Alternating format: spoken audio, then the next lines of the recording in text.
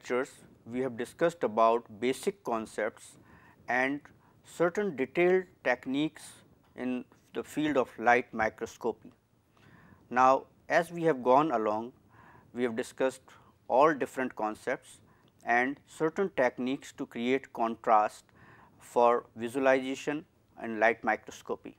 If you could recall, we have gone through a uh, lot of different techniques where you require staining or you might re not require staining for visualization. Now, remember light microscopy has allowed us to view into the tiny world of cells, microorganisms, macromolecular assemblies and so on. It has allowed to which the world tiny world which was totally unknown and unseen has been allowed uh, to be viewed by us with the advent of the light microscopy. But light microscopy has certain limitations. Now, limitation is due to the wavelength of the light which cannot be reduced. And so, because of the wavelength of the light, the limit of resolution is also limited.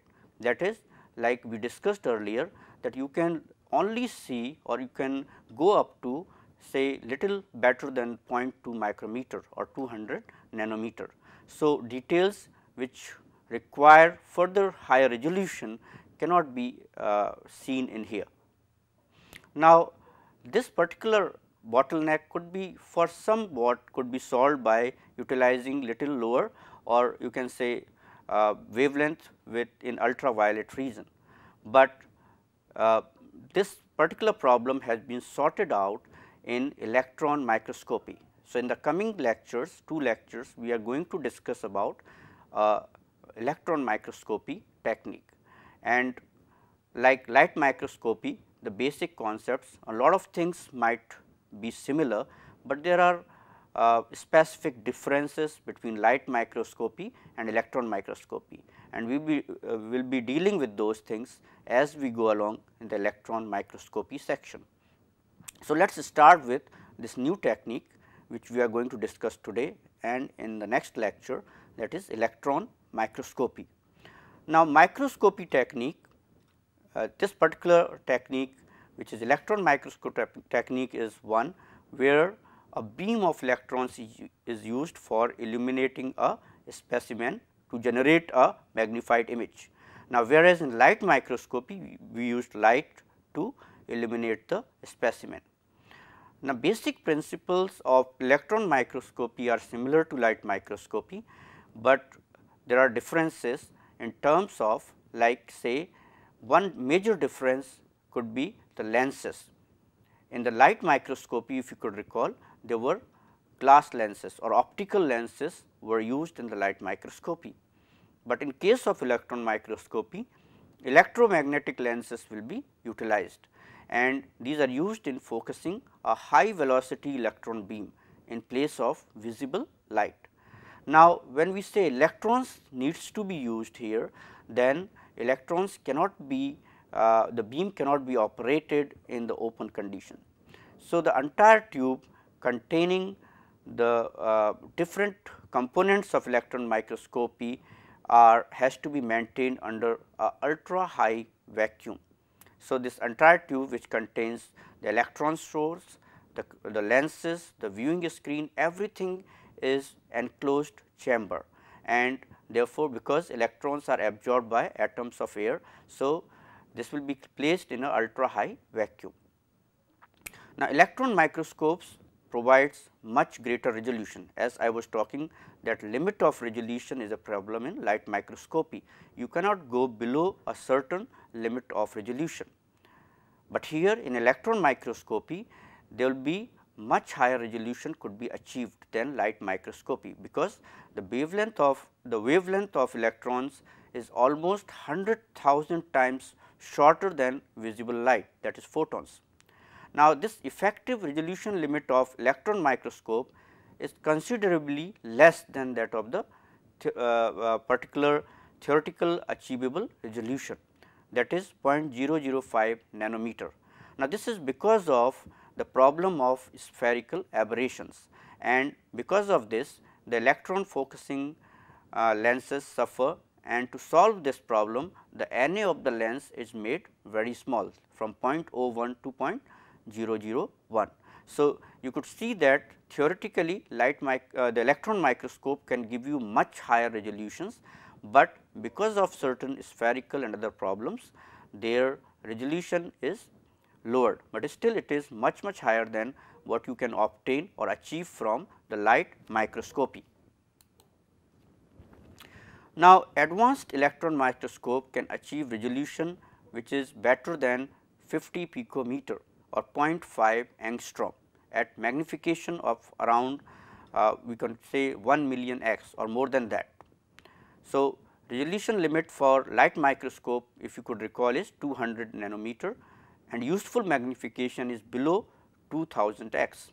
So, if you could see here that in light microscopy you cannot go beyond a certain limit magnification, but here you can magnify the image even after obtaining from the objective lens manifold and this is because the amount of details which is available in a electron microscopy uh, image after objective lens is much much more and you benefit from magnification rather than blurring of the image or distortion of the image. Now, what is uh, so these are all advantages which we were talking about the electron microscope, but one of the disadvantages of electron microscope is that that only non living samples can, can be observed as high vacuum conditions are required. Like I said you have to have better than 10 raised to power minus 4 torr of the vacuum conditions. And so, when you have to maintain the vacuum conditions living samples cannot be utilized. So, as we go along we will be discussing about differences and also I will show you uh, how we can compare light microscope and an electron microscope. Now, in this section we are going to discuss about two main types of electron microscopy techniques and these are transmission electron microscopy and scanning electron microscopy. Now, transmission electron microscopy the images are formed by the transmitted electrons and it provides you the internal details of the specimen. Uh, in contrast, scanning electron microscopy here you rather than transmitted electrons here backscattered electrons are used for image formation and here rather than internal uh, details you look for or what you see is the surface details which are provided by scanning electron microscopy technique. Now, let us move on what are different components of electron microscope. So, I will just introduce these things then we will go in detail and discuss each of these components. Now, electron microscopes like I said it has to be an enclosed chamber. So, it consists of a tall hollow cylindrical column within which the electron beam is confined and there is a console having dials for electronically controlling the operation of the microscope. Now, from the top to down, so here you have to remember that the uh, column contains the cathode emission source that is the emission source is at the top which is heated and acts as a source of electron. Now, if you could see uh, if you could recall illumination source in the case of light microscopy was below that is at the base of the microscope and here it is at the top of the microscope. So, you can say the electron microscopes in comparison to light microscopes are upside down. Now, electrons are accelerated as a fine beam by the high voltage applied between cathode and anode in a high vacuum conditions in column and brought to focus by powerful electromagnetic lenses. So, these are different from optical lenses. Now, the size of the beam is controlled by various apertures and where condenser lenses focus the beam onto the specimen, a magnified image is formed by the objective which is further magnified many many times by the projector lenses or we call it in light microscopy ocular lenses. And finally, the image is uh, focused onto the viewing screen that is fluorescent screen and you can then see the screen directly or indirectly. So, this is these are the various components of uh, the electron microscope. Now, what are uh, how do you uh, distinguish them? Let us see and then uh, we will be going in detail. First is illumination source or system. Now, illumination system is made of one is electron gun. What does electron gun do? It generates electrons and provides a coherent uh, electron beam here. Condenser lenses, there are two condenser lenses 1 and 2 which determines the smallest illumination spot size on a specimen and uh, uh, the amount of illumination uh, in terms of intensity. Then there are condenser aperture which reduces the spherical aberration and helps control the amount of illumination striking the specimen. So, illuminating system is made of electron gun, condenser lenses and condenser aperture. Now, specimen manipulation system or you can say specimen stage. Now, there are specimen exchanges and specimen stage which is provided for moving specimen inside the column of microscope. Remember microscope is uh, evacuated, there is a high vacuum conditions. So, there has to be a method to introduce your sample through an airlock system into the uh, column of the microscope. Then there is imaging system which is after specimen which is made up of intermediate apertures, objective lens and projector lenses and these will focus the image onto the screen. And finally, the observation and uh, uh, camera system here. So, there could be a viewing chamber which contains viewing system uh, for final image and there could be camera which could be utilized for recording the image. So, these are various components. Now, if you see this figure here, uh, then uh, this figure shows certain various components and you see that the source of electron is on top of the column which will be formed of cathode, anode and the apertures and these are condenser lenses here. Uh, label of specimen uh, is presented here uh, where after the specimen there will be objective lens which is not written here and after objective lens there will be projector lenses which will finally image or form the image onto the fluorescent screen. And this fluorescent screen you can see it directly or you can see it through binocular magnifiers. So, this is the electron microscope with various different components. Now, let us see how an electron microscope compares with light microscope. So, this is just to give you a feeling of the light microscope and electron microscope. Here we have just to align them this is also upside down light microscope. Now, if you see here the light microscope lamp which is a halogen lamp or certain for uh, the simple light and this is a filament which is for producing electrons that is a cathode or filament for producing electrons. Now, lenses if you see these are glass or optical lenses, but here these are electromagnetic lenses. Likewise, so you have similar pattern here condenser lens is there which focuses or is a part of illumination system. Here condenser lens in electron microscope will focus the beam. Then you have specimen place where specimen will be placed. Uh, objective lens will take information from the specimen like in light microscopy. These are the objective lens again electromagnetic lenses and then you have projector lenses which is more than one in case of light uh, in the electron microscope and finally, the image formation. So, you can say the basic arrangement is same, but kind of lenses which are used kind of illumination which is used is different from light microscopy. All right. So, let us move on to uh, transmission. So, like we said we are going to discuss two techniques here. One is uh, transmission electron microscopy, another is scanning electron microscopy. So, let us start with transmission electron microscopy. We also call it in short TEM. So, this particular technique or microscopy technique is one where an image is generated from the interaction of electron beam transmitted through an ultra thin specimen. Now, the magnified image is focused onto an imaging device which could be photographic film, a fluorescent screen or even a CCD camera.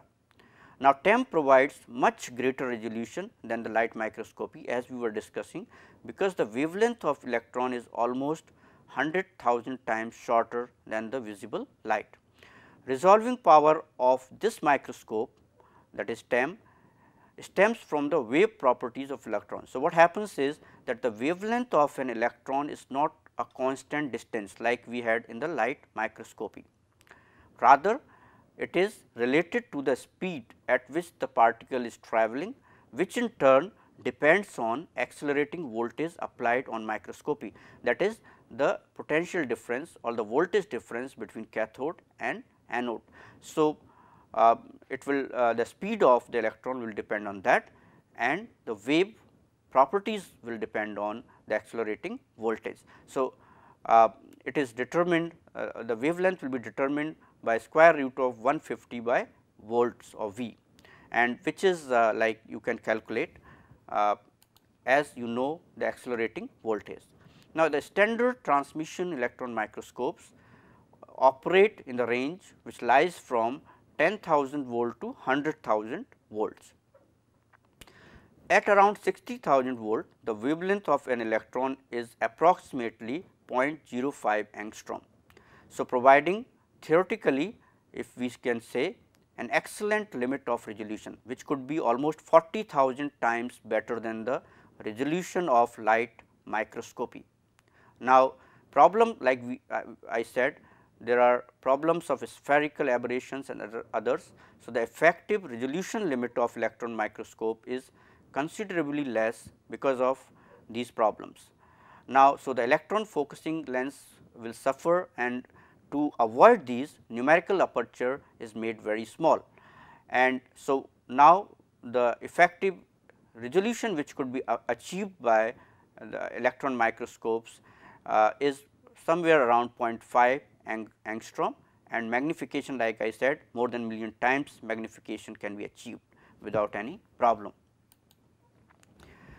Now, let us get into the design and operation of transmission electron microscopes. Like we were discussing different components, let us little bit discuss them in detail. Illumination system like I said it consists of a source of electron called electron gun and a series of electromagnetic lenses. These are condenser lenses that focuses the initial electron beam onto the small spot on specimen. Now, electromagnetic lenses like we were discussing these are uh, constructed of soft iron core and this soft iron core wound uh, with an electri uh, electrical conductor. So, this produces a magnetic field which is utilized to focus a beam of electrons. Now, let us see what is an electron gun. Now, different components of electron gun includes one cathode.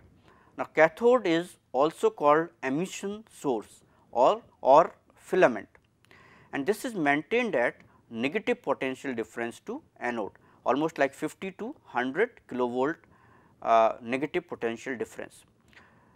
Uh, most common filaments used is thin tungsten wire bent into a V shape so, that is the most um, uh, commonly used and uh, cheap also, but there are other types which can give you better illumination or uh, fine focus. We, uh, these are lanthanum hexaboride LAB6 and field emission source. Now, lanthanum hexaboride filament is a pointed rod that provides a stable current from a small area. Then a simple tungsten filament. It is almost 10 times brighter than the tungsten filament and has a lifetime of 500 hours or longer. And but it requires a vacuum in order of 10 raised to power minus 6 torr or better. So, you would have to have better vacuum, but this is much better emission source as compared to simple tungsten filament. There is another better source than uh, your lanthanum hexaboride and simple tungsten filament that is called field emission source. You must have heard about field emission electron microscopes. Now, this requires a very high vacuum conditions like 10 raised to power minus 9 torr and it operates at room temperature. It requires a single crystal of tungsten with an emitting region of approximately 10 nanometer. Now, the brightness is almost 1000 times that of standard tungsten filament and it employs double anode. First anode around 2000 volts extracts electron from tip and second anode accelerates electron down the column. It produces a very small probe size with negligible energy spreads. So, it is a very effective and very good source of electrons. So, you can say this is the best one of uh, best field uh, you can say emitter or filament here uh, emission source here, uh, but it is certainly will be more expensive as compared to a simple tungsten filament. Now, there is another component which needs a mention here that is called Wehnelt silt. Now, Wehnelt silt is positioned between cathode and anode and is held at potential difference of 100 to 200 volt negative to cathode. Remember it is negative to cathode. So, what it does is the function is to create intense cloud of electrons in a very small uh, aperture and you can say it serves as electron source. So, electrons from cathode uh, like kind of collects in a intense cloud of electrons at this particular aperture. Wehnelt shield is connected to high voltage and to filament heating voltage by resistors. Then there is anode which directs the beam of electrons. Now, transmission electron microscope will employ two condenser lenses uh, with an aperture there will be an aperture of around 100 to 200 micrometer which is placed between the second lens and the specimen to reduce the spherical aberration.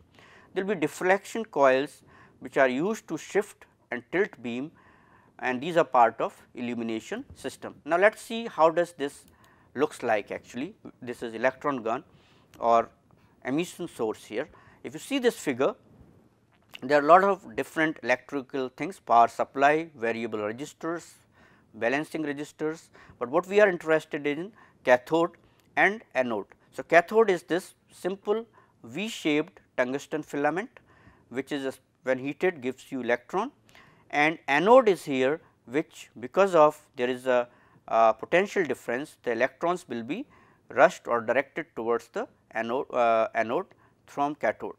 Wehnelt shield uh, condenses or you know makes intense cloud here. So, this seems to be the electron source and then finally, the electrons are moved down the column through different lens systems and through specimen to form the image. So, this is like a typical schematic of electron gun which is employed in the uh, electron microscopes. All right. Now, second part which is uh, after illumination system is the specimen carrier or specimen stage where specimen is placed. Now, transmission electron microscopes has two types of stages. Now, one is called top entry which utilizes a cartridge like specimen holder which is inserted into a stage from above. So, if you might have seen uh, simple printers actually where cartridge is inserted from above, it is something like that where it is a top entry stage. Then there is a side entry stage which utilizes a rod shaped specimen holder with one or two places for specimen at one end. It is secured by clamp and spring mechanism. The rod is inserted into stage through an airlock on one side of the column. Like I said, it is a evacuated chamber and so it has to be uh, inserted so that vacuum is not disturbed. Now, although top entry stage provides slightly better resolution as it fits better, but in TEM side entry stage is mostly utilized. It allows more versatility in positioning of the specimen and design of device for tilting specimen is also very simple. So, this is much more convenient and more used in here. In TEM or transmission electron microscopy, the stage motion is limited to plus minus 1 millimeter in x y direction. And if there is a goniometer uh, fitted in the stage, then specimen could be tilted up to plus minus 60 degrees. So, these are limited motions which can occur in the specimen carrier or specimen stage to uh, focus to place your specimen. After specimen stage comes the imaging system or optics which will form the final image. Now, this consists of objective lens, aperture, objective stigmators and projector lenses. So, uh, like light microscopy, the objective lens will collect or the beams will pass through the specimen and will be focused by objective lens. Objective lens will magnify the image uh, up to 100 x. The focal length of objective is very low around 2 millimeter. So, that the specimen must be placed within the uh, concentrated magnetic field of the lens. Varying currents to objective lens permits focusing of image. Then projector lenses which could be 2 or 3 they are located below objective lens. Now, the final magnification as we have discussed it could be from 1000 to maybe million times of the image and it could be varied by again altering current in projector lenses. So, like I said there are sufficient details present in the image from the objective to magnify it many folds to get information unlike light microscopy. There are objective apertures below specimen which eliminates the electrons that have been elastically scattered. Generally apertures of around 30 to 50 micrometer in diameter are utilized. There are stigmators like I said objective stigmators are special types of lenses and which are used to compensate for certain imperfections which are present in the construction and alignment of the column and we are not going in detail of those uh, lenses here. So, these are part of the imaging systems or we call it optics. Now, image observation and recording. Now, images can be viewed on a screen like finally, projector lens will focus the magnified image onto the fluorescent screen which could be light emitting phosphor or fluorescent surface. A screen can be observed directly or for increased magnification you can uh, and critical focusing you can observe it through binocular microscope.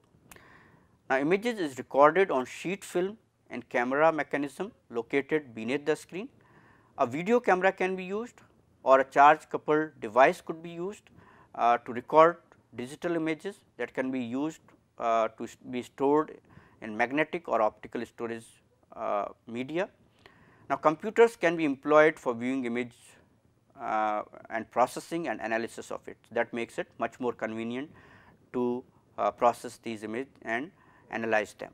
So, this was about image observation and recording. Now, after uh, like we have discussed about the various components, one major aspect of the electron microscope microscopy technique is the specimen preparation. Now, why it is so important? Now, the scattering of electrons by specimen component of specimen uh, is proportional to the matter present or we call it mass thickness or atomic density we call it that is a measure of number of atoms per unit area and their atomic density. What does that means? To understand this if we see biological materials are mainly made up of atoms of relatively low atomic number like carbon, oxygen, nitrogen, hydrogen etc. Now, these are therefore not effective scatterers of electrons because they have relatively less atomic density. So, mass thickness or atomic density of a specimen has needs to be enhanced and how to enhance them by fixing and staining the samples with solutions of heavy metals. So, that you can get much heavier metals to diffract or scatter the electrons and to obtain the contrast. Unless you can obtain the contrast, you know that you cannot see the images. Now, they bind these heavy metals, they bind differentially to different components of the specimen and parts which uh, with which complexes with metal atoms uh, will not allow the passage of electrons. So, wherever there is a concentration of heavy metals, what will happen? The electrons will not pass through, whereas other parts where the electrons or heavy metals are not there, they will allow the passage of the electrons that is transmission of electrons will be allowed to the screen. So, what will happen wherever the uh, screen is hit by the electrons due to the passes through the specimen the areas will look bright, but wherever the electrons has not been allowed to pass through the areas on the fluorescent screen will dark and that is how the contrast will be created and the image formation in the electron microscope will take place. So, this requires that you have to prepare a speci specimen in order to uh, provide the scattering capacity. Now, here since it has to go through so much of uh, processing and like I said it is a vacuum system ultra high vacuum system is present in the electron microscope only non living specimens can be observed in here and uh, so uh, except for certain environmental microscopes where uh, they allow partially hydrated samples where the uh, uh, vacuum conditions is around 10 raised to power minus 2 torr. So, but otherwise in high vacuum conditions the hydrated samples and therefore, the living samples are not allowed. Another thing is that thickness of a specimen for transmission electron microscopy must be less than 100 or 200 nanometer because of poor penetrating power of electrons. So, this is much much more thinner than light microscopy uh, sections. Now, various methods of specimen preparation in TEM for introducing contrast are discussed in this. Uh, as we go along, we will discuss about various ways to create contrast. So, let us see the first method. Now, if you could recall the specimen preparation in uh, light microscopy involved fixation, dehydration, embedding and sectioning. And likewise, here also the, the uh, we follow the same uh, steps here, but with certain differences. Now, first is the fixation. Now, for optimum preservation of organelles and membrane structures, a strong protein crosslinker is used or fixative used such, as glutaraldehyde. Now, glutaraldehyde is a strong crosslinker. If you would like to retain some amount of biological activity like antigenicity or so, a weak crosslinker such as paraformaldehyde may be used. Now, samples which are used for morphological studies may routinely be post fixed that is you have fixed it with certain fixatives, but you can post fix with osmium tetroxide OSO3.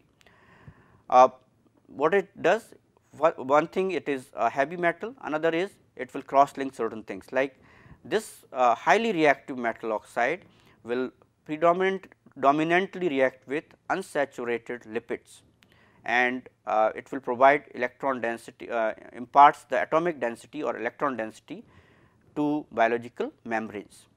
It also reacts with proteins, lipoproteins, nucleic acids and other things. So, this will this can be used after fixation. Then potassium ferri or ferrocyanide can also be added to increase the membrane contrast uh, and there are a lot of other things which could be uh, like used. Now, after fixation many times samples may be treated with solutions of heavy metals.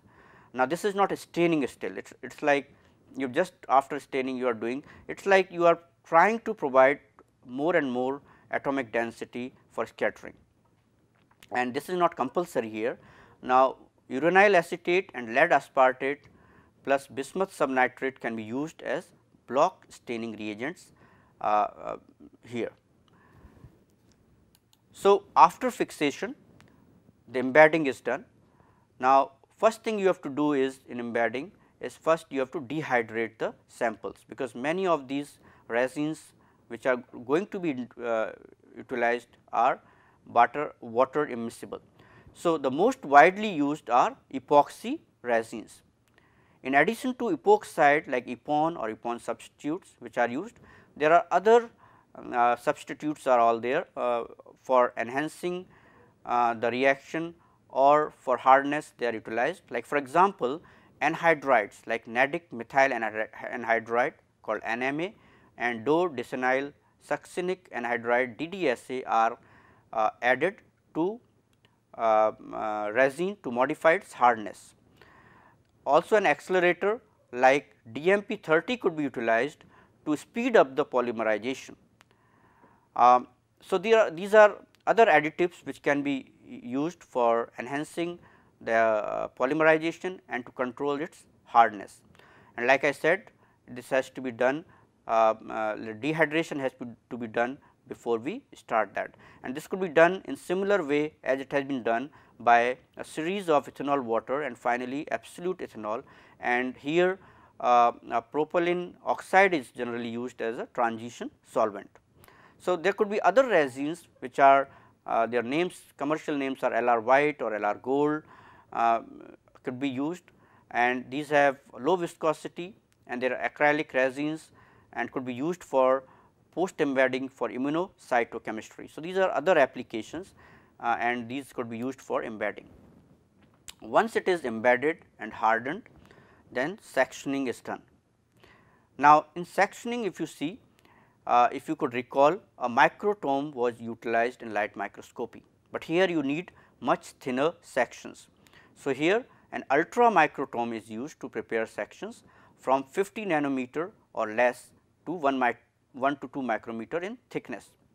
Now, sections are cut by either glass knives or diamond knives in particular and these sections float off the edge of the knife onto the water trough, water held in a trough behind the edge. Now, these floating sections are collected onto specimen support. I will show you that here uh, for staining and examination in TEM. Now, specimen support is a uh, grid which is called specimen grid or around 3.05 millimeter in diameter made of fine metal mesh usually copper and can be other metals with openings in metal varying from 450 to 20 micrometer. Uh, in case of acrylic resins, the grid is first covered with thin plastic films and section collected on a supporting film. I will summarize this whole thing a little later. Then staining. So, we have done like if you could recall after we have done post fixation there was osmium tetroxide and then also block staining reagents were used, but still after the embedding and uh, cutting thin sections again staining is done to impart more scattering power. Now, the sections require additional staining with solutions of heavy metal to further increase the contrast. Now, the two most widely used stains are uranyl acetate, it is used in acidic conditions and there is a lead citrate which is in basic conditions. Now, this will give uh, uranyl acetate gives uh, mostly uh, gives contrast to nucleic acids and lead uh, citrate could be utilized for contrast of glycogen and ribonucleoproteins etc. Now, staining times could range from anywhere from 1 to 10 minutes and then different sections could be thoroughly rinsed in distilled water and then can be dried and can be used for observation under electron microscopy. So, all right. So, this was the extensive specimen preparation in the electron microscopy uh, which is transmission electron microscopy. There are other methods of creating contrast as we go along we will discuss that, but first we should summarize whatever we have uh, uh, the specimen preparation and so I would like you to focus on your screen here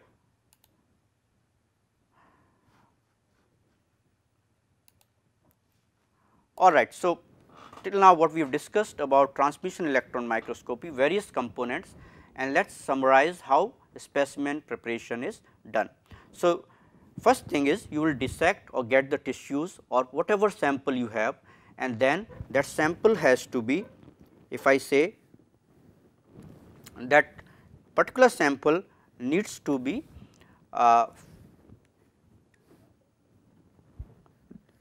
uh, the fixation has to be done. Now, fixation in that sample will be done by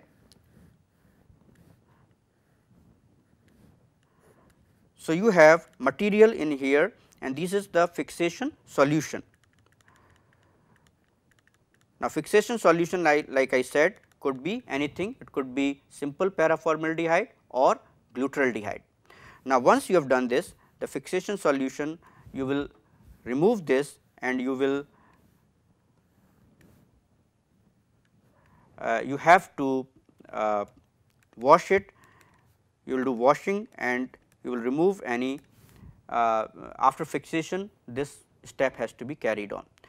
Now, after that the most important part is you have to go along uh, uh, dehydration step. So, a series of ethanol water and finally, finally the absolute ethanol will be utilized to absolute ethanol and then propylene oxide will be utilized for uh, for transition as a transition solvent. Now, once you have done that then what we have to go about is the this particular thing has to be embedded. So, for embedding there will be there will be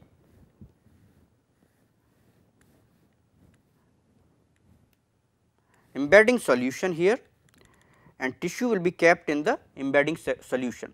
This could be a thick section or otherwise and this what will happen this embedding solution will be epoxy resins. Now, this embedding solution will be then uh, put into the oven for drying and once it is dried then it will be taken up into a Eppendorf tube or whichever uh, is present in here.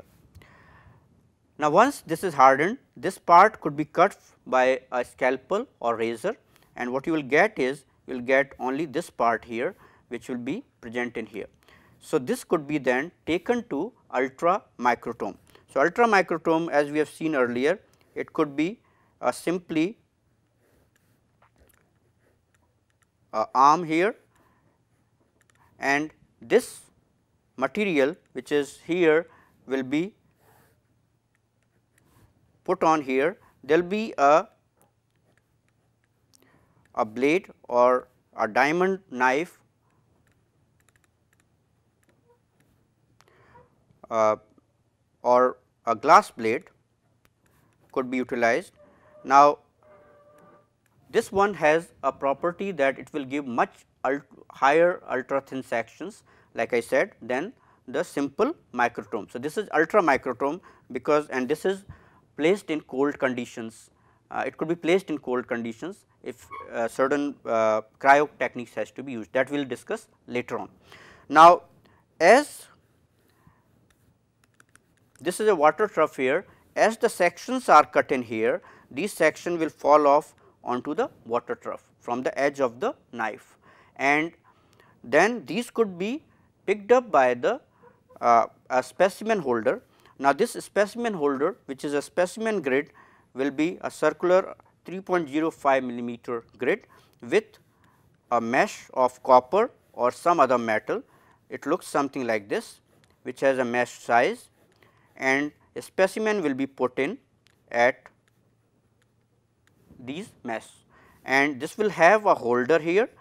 Now, this could be placed in this uh, once these are again stained in here and once these are stained and dried and then finally rinsed with distilled water, they could be placed into the electron microscope for viewing.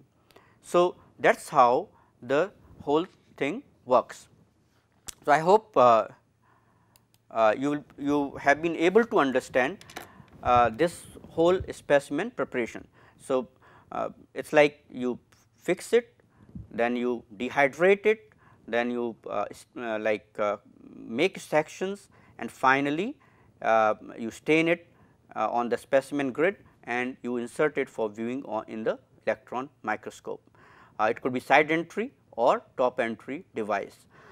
So, this in this lecture we will stop here. In summary what we have discussed in here is the different uh, components of electron microscopes, the basic differences between the light microscope and electron microscope like you have advantages as well as disadvantages. Particularly you have advantage of resolution in electron microscope over light microscope and but you have disadvantage of uh, you cannot use live cells as you can do in many techniques of light microscopy. Uh, in the next lecture, we will continue discussing about the various other methods to create contrast in transmission electron microscopy as well as we are going to discuss about the scanning electron microscopy. Thank you.